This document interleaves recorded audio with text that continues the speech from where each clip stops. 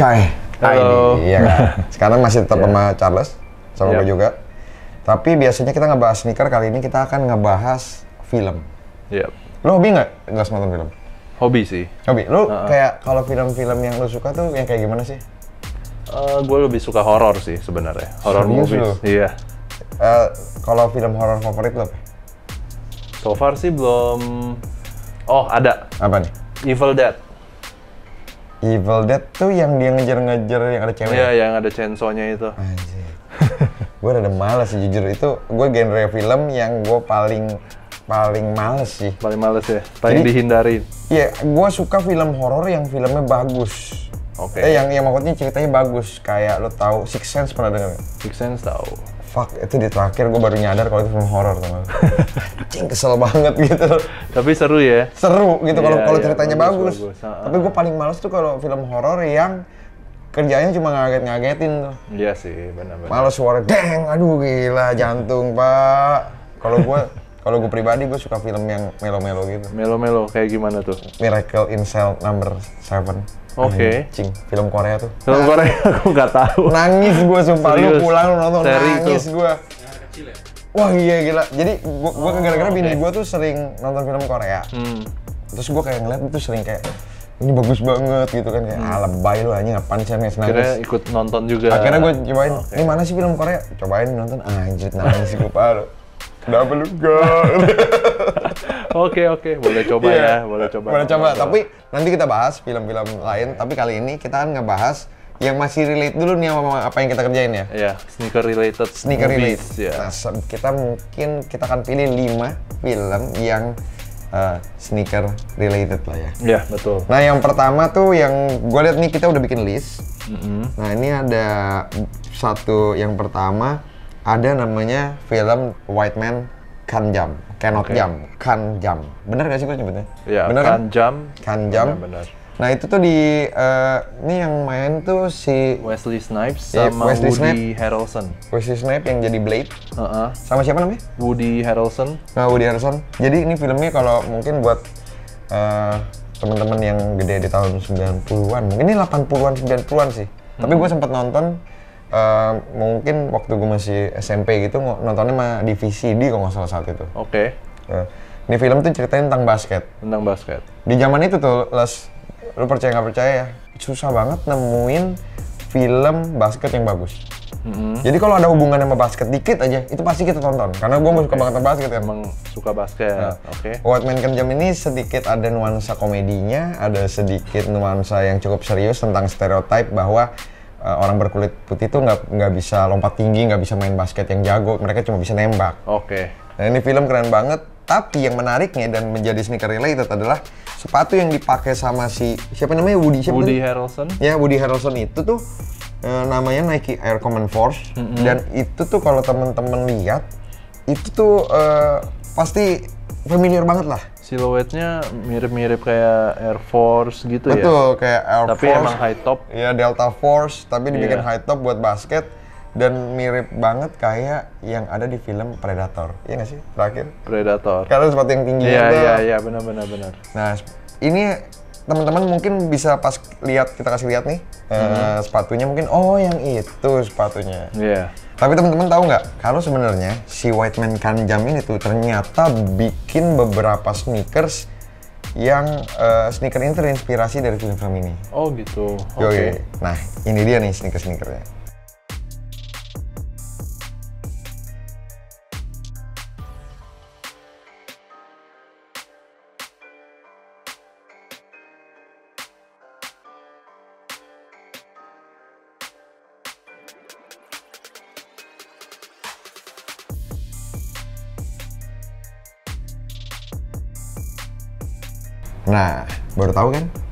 Oke, kita lanjut. juga baru tahu sih. Oh, juga baru- belum pernah nonton nih. Iya, Kayaknya gue pengen nonton ntar. Lu mesti nonton nih. cari. Wesley Snipes ya Iya. kan. Lu pengen lihat si pemburu vampir bermain basket, nonton film ini. Oke.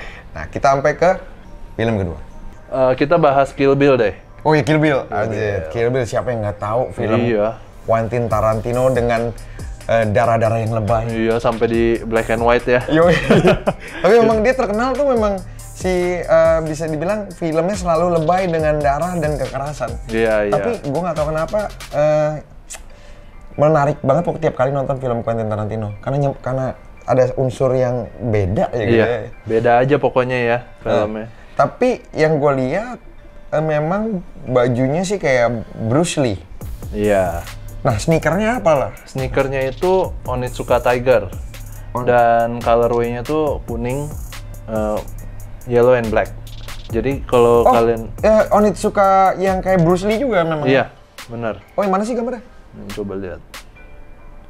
Oh ini ya ya ya ya ya. ya, ya. Eh, katanya tuh emang same shoes yang Bruce Lee pakai di movie dia Game of Death katanya. Oh oke oke oke. Berarti Game of Death eh, si Kill Bill ini sepatunya sama tuh ya? Iya, Damn, baru tahu nih gue. Keren keren keren keren. bagus. Oh ini Oh, ada ini, Bruce ini, Lee-nya ini, nih. Bruce Lee. Oh iya. Pakai Ini- Onitsuka ini deh kayaknya. Kuning ya? Iya, pakai Onitsuka nih. Tuh, sampai figurnya aja pakai Onitsuka gitu. Iya. Oke. Kita Sekarang- lanjut ke next movie ya. Next movie-nya apa nih? Nah. Next movie-nya tuh Forrest Gump. Anjir. Tentunya familiar ya, Tom Hanks. Tom Hanks. Ini Nah. menurut gua, gua ya, ini salah satu film terbaik sepanjang masa versi gua. Oke. One of the greatest menurut gua film ini ini kayak punya pesan moral yang bagus banget. Yap. Dan eh, ini, ini film ya mungkin udah mungkin dari tahun berapa sih Tahun dibuatnya? 94. 94. Lu nonton sekarang, lu percaya sama gua, lu masih bisa ngerasain keindahan filmnya bagus Iya, banget bagus, ya kan? bagus banget. Dan sepatunya udah Iya, tahu lah udah semua. tahu. Nike Cortez, um, white colorway dengan original silhouette-nya tuh um, white, red, and blue ya. Cakep banget. Dan ini tuh identik dengan Forrest Gump, film Forrest Gump. Iya. Tapi ada tapinya nih. Ini mungkin yang banyak teman-teman nggak tahu. Sebenarnya film yang menggambarkan tentang Cortez klasik eh, warna Amerika ini, sebenarnya itu pertama kali malah bukan Forrest Gump dulu. Tapi mungkin banyak teman-teman yang nggak tahu kalau sebenarnya ada film lain, mungkin di tahun 90-an juga. Oke. Itu menceritakan tentang seorang pelari eh, asal Oregon, Universitas Oregon. Dia tuh eh, dari Universitas Oregon. Dia tuh waktu zaman dia kuliah, dia itu udah sampai bisa kayak eh, bakal mecahin rekor-rekor dunia gitu. Oke. Dan dia adalah namanya eh, Steve Prefontaine. Filmnya dibuat dua versi, ada Steve Prefontaine pertama, ada juga yang dibuat sama HBO. Salah satu filmnya tuh dimainin sama Jared Leto. Oke. Dan itu kalau lu tonton itu bisa lu lihat kayak cikal bakal pertama kali dibuatnya si Cortez ini, Cortez Uh-uh, uh-uh. Cortez eh, klasik ini. Eh, dan ini tuh makanya film yang keren banget. Nah, ini buat teman-teman yang nggak tahu filmnya kayak apa, nanti gua akan kasih lihat eh, film Prefontaine Iya. biar teman-teman tahu kalau sepatu ini bukan cuma identik sama eh, si Forrest Gump tapi juga Prefontaine. Oke. In lane one, bronze medalist in the 68 Olympics, the legend, the veteran, George Young.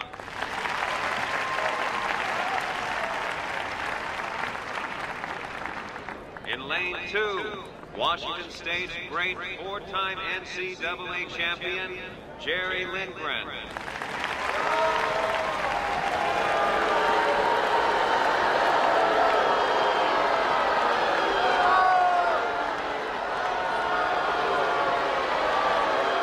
And in lane three, a junior from the University of Oregon, three-time NCAA champion, American record holder in the 5,000 meters, never defeated at Hayward Field, Steve Prefontaine.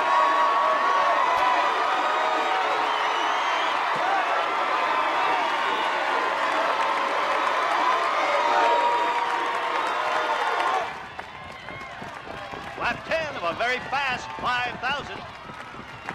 The race now is between Cree and Young.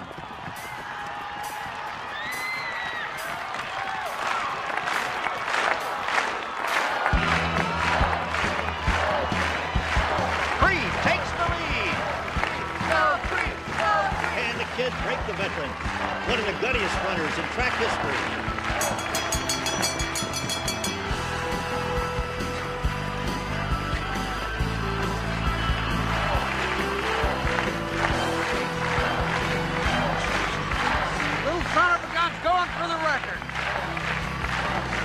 Kick.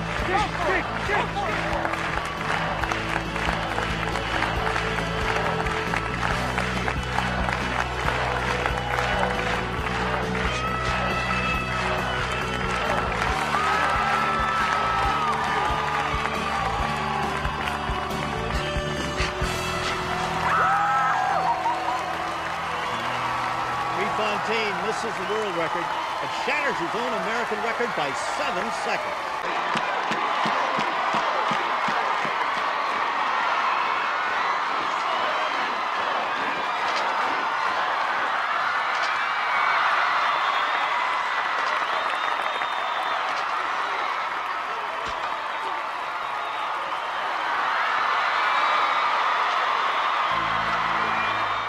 Nah, itu dia tuh lah. Iya.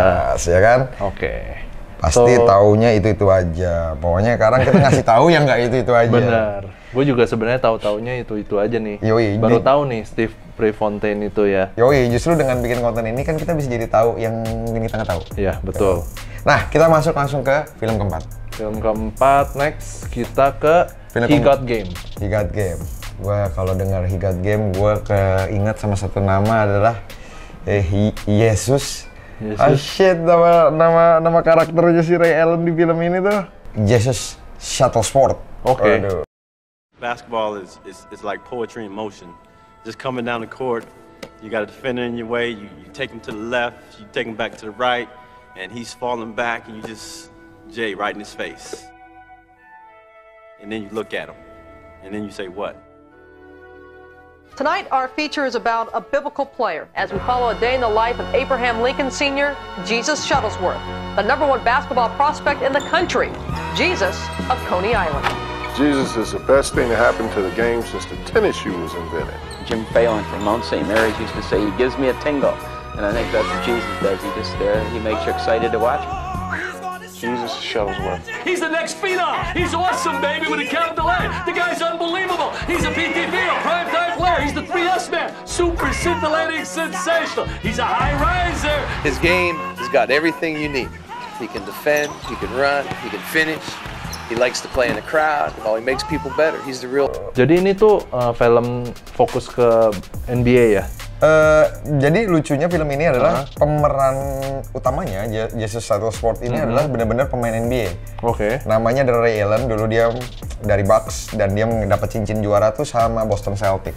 Heeh. Dan kerennya lagi, eh, film ini dis- disutradarain sama Spike Lee dan dimainkan sama eh, mungkin bisa dibilang salah satu aktor terbaik sepanjang masa Denzel Washington. Terus, Ya. Dan di sini ada beberapa sepatu yang ditampilkan. Kalau ini aja kita lihat ya dari sekedar covernya aja, lu bisa ngeliat Air Foam Posite Pro warna putih yang bentar lagi bakal rilis Re retro ulang. retro ulang. Iya. Dan kalau ini lu lihat ada EJ13. EJ13 Iya. game. Jadi di situ banyak banget scene-scene yang eh, relate sama sneakers Hmm. dan sneaker ini benar-benar dirilis pada akhirnya karena film ini. Oh, Oke. Ini film yang lu wajib tonton banget karena Must ini watch tentang ya. Mm, karena bukan tentang bola basket aja tapi tentang ke- keluarga sih. Oke. Ini one of the best movie basketball sih buat gue. Nah, ini filmnya. Gitu. Bubba?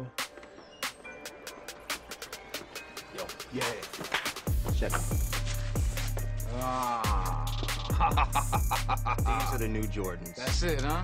Yeah, how much these cost, man? 139, 150 with tax. 150? Where the holes at? They're on the inside though. You gotta lace them up that way. Do that for me, man. Yeah, no problem. Let's get rid of this first. 139.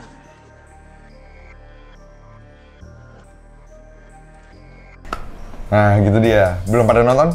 Cari deh linknya. Ca- watch ya itu. Must watch. Eh, itu maksudnya kayak eh, keren banget. Nah, kalau di film kelima ini, gue mungkin kita kasih honorable mention dulu ya buat beberapa film lainnya. Mungkin apa sih film yang lo tahu tentang sneakers yang ada hubungan sama sneakers? Gue sih taunya Space Jam. Nah, Space Jam makanya gue Space Jam juga nggak gue bahas di lima ini karena udah familiar. lah. Udah, ya umum banget lah. Pertanyaannya, lo ngelihat sepatu apa aja di film Space Jam? Cuman EJ11 sih. Ada EJ9. Ada EJ9. Dan aja ada EJ9 clit juga yang yang pasti main Oh, yang baseball. dia pakai. ini ini oke. sedikit hint. Jadi kalau teman-teman yang udah ngerasa udah pernah lihat film Space Jam, coba diinget-inget ada sepatu apa aja di sana. Terus Oke. apalagi nih yang sneaker relate? Gue belum pikiran lagi sih. Eh, kalau Palingan kayak lebih ke Netflix series tuh yang baru rilis kemarin-kemarin tuh. apa Stranger Things? Stranger Things, Terus? Lupin ya. Oh iya, Lupin tuh banyak pakai Jordan juga ya. Iya banyak pakai Jordan. Terus sama Kayaknya sneakerhead baru dia soalnya Jordannya Iya. warna-warna baru. terus, Terus, apa sama lagi? apa tuh ada series yang di Netflix yang Sneakerheads ya. Sneakerhead. Iya, ya. itu, uh, lucu banget tuh ya. iya. Si King Batch ya. Iya. King Batch kan namanya. Terus lu kalau gua tuh zaman dulu tuh terkenal ini eh, DTRT, namanya Do the Right Thing. Oke. Do the Right Thing itu filmnya Spike Lee eh, tentang eh, Hood, tentang eh, eh, pertemanan mereka di sebuah daerah. Terus dia ada sepatu Jordan 4 sampai akhirnya dirilis juga jadi Jordan 4 Do the Right Thing. Oke. Ya, itu lucu-lucu sih sebenarnya. Nah, tapi oh, kita sama satu lagi Apa? yang gue inget tuh si siapa tuh namanya Will Smith. Will Smith filmnya yang Dia terkenal dengan AJ5 Grape-nya. Oke, eh, ini Itu dia serial ya. Waktu itu zaman dulu serial iya, iya, komedi. series, ah, itu. Fresh Prince ya judulnya. Kalau nggak salah Iya, ya. Prince. Fresh Prince. Iya iya Fresh Prince itu Bel Air, Bel Air, Bel Air. Iya, ya kan iya, sepatunya iya, ada Jordan iya. 5 Bel Air ada apa? Iya iya benar-benar. Terus ada film apa lagi ya? Oh, ya itu kayak kita bilang Ter- Terminator. Terminator. Terminator, juga ada terlihat Nike Vandal, Nike ya. Vandal, Ah. sampai akhirnya kalau nggak salah abis film itu karena terkenal di film Terminator dibikinin tuh Vandal yang warnanya Terminator. Iya, iya. yang warnanya kayak silver ya kan? Ah. Apalagi ya? Ya, pokoknya Masih- banyak deh. masih banyak sih, Masih iya. banyak. Heeh. Teman-teman search saja. Tapi film kelima yang menurut menurut gua adalah film paling ikonik tentang sneakers. Sampai sekarang juga Sampai ya. sekarang orang nggak kayaknya Iya. hampir nggak ada yang nggak tahu ya. Ah, benar. Itu adalah film Back to the Future. Back to the Future Back, Back to the Future itu kayak menurut gue di masa kecil gue serial terbaik ya sih? Iya, Itu benar-benar. sampai empat kan ya? Apa lima ya? Empat yang ada sampai dia balik Iya. ke West lah, mana gitu kan keren banget ya. Iya, benar. Dan dia ngebuat satu siluet itu dijadikan nyata. Zaman itu tuh udah ada apa? Udah ada self lacingnya. Self lacing yang akhirnya dibuat di tahun 2015 atau 16 ya. Iya. Anjir, men ini kayak dreams come true kayak yang future jadi kenyataan gitu ya, masa Iya. depan jadi kenyataan ini keren banget. Tapi teman-teman tahu nggak sepatunya itu apa?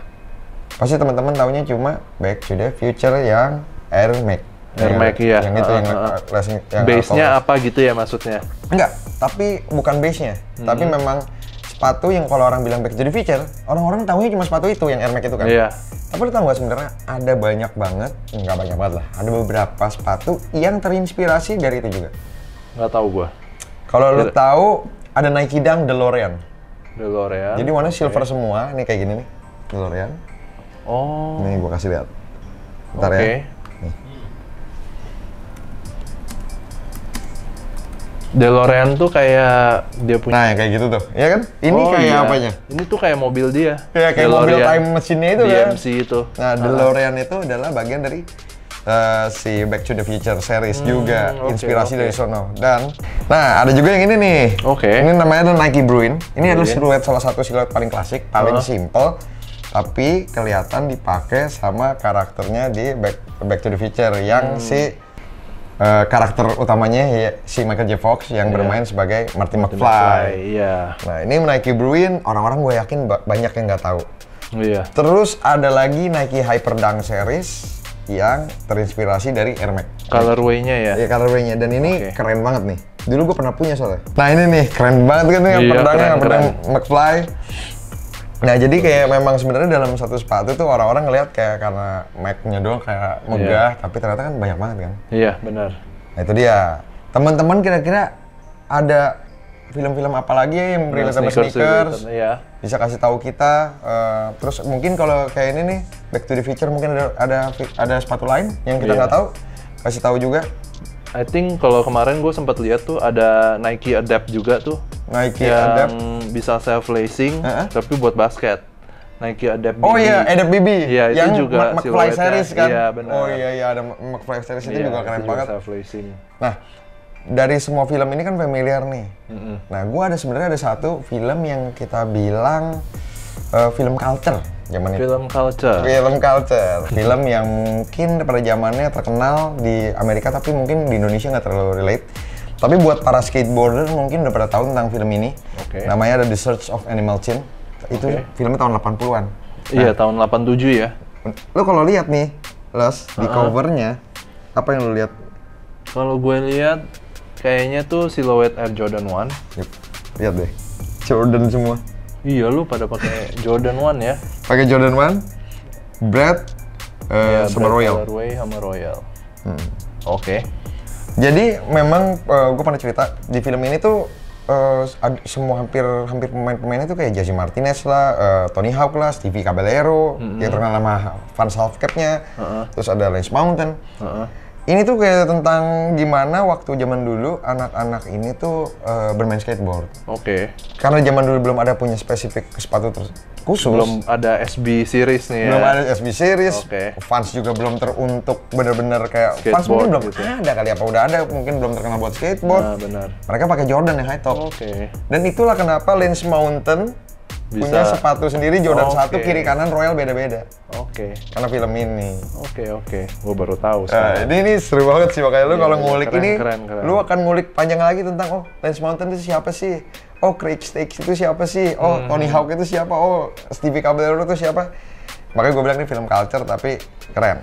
Ya kan? Ini gue jadiin uh, honorable mention yang paling spesial. Semoga teman-teman bisa nonton film ini, bisa tahu uh, ternyata ini loh uh, gimana akhirnya Jordan bisa masuk ke industri skateboard. Kenapa anak-anak skateboard pakai Air Jordan? Oke. Gitu. Makanya kenapa ada Air Jordan SB, SB gitu nih ya. kayak, nih gue kasih lihat nih. Tadi gue ada. Tadi kita ada SB. Yap. Nih, kayak kenapa ada Lance Mountain ini? Nih Lance Mountain ini kalau robek, Keluar warna royal, Royal. terus sebelahnya lagi tuh warna UNC. betul. Nah terus ini kayak eh, kenapa ini dipakai jadi sepatu skateboard? Ya karena ini basicnya Jordan 1. Jadi semua yang dibuat itu sebenarnya eh, terjadi karena ada alasan-alasan tertentu gitu dari secara eh, cultural and historical. Ada cerita di balik baliknya ya. Yoi. Oke. Seru kan tapi kita Seru, obrolan seru, kita hari ini. Ini underrated banget sih. Underrated. Gua, gua personally nggak tahu nih. Itu dia. Nah, kita hari ini udah ngebahas tentang film-film. Temen-temen kira-kira tuh pengen kita ngebahas apa lagi selain film ya? Iya. Ya mungkin apa gitu, siapa tahu bisa kasih masukan ke kita kan? Boleh tinggal comment down below aja ya. Yoi. Nah, yang pasti terima kasih udah nonton kita, ya kan? Eh, Udah, ini berapa menit? Berapa menit? 15. 15 menitan. Tapi gue yakin teman-teman dapat satu hal yang baru. Bikin Iya. senyum-senyum sendiri nih. yuk. Iya Gua juga aja ya, iya dapat banyak film yang harus gua nonton nih. Yoi, ya kan? Kayak ada tiga film harus gua nonton Yuk, tuh. Sama Miracle in Cell Number 7, lu nangis deh percaya. Boleh, boleh, boleh itu. Nah udah kalau Oke. gitu eh, jangan lupa untuk follow media sosial Deep Sky ID. Eh, jangan lupa untuk komen, eh, like, subscribe, dan sampai ketemu di video berikutnya. Oke. Stop flexing. And start understanding with deepsky.id. Thank you.